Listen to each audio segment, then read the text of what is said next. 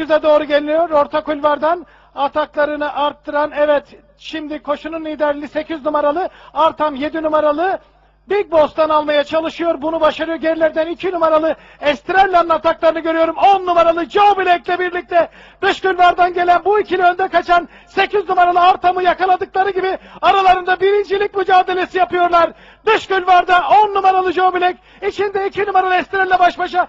İç kulvarda 2 numaralı Estrella, dışında Joe Black. 2 numaralı Estrella mı yoksa 10 numaralı Joe Black mi kazandı? Buna varış hakemleri karar verecekler sayın yarışseverler. Evet üçüncülük içinde 8 numaralı Artan mı yoksa son hatayla gelen 9 numaralı Şarkı resmi üçüncü oldu. Buna da varış hakemleri karar verecekler.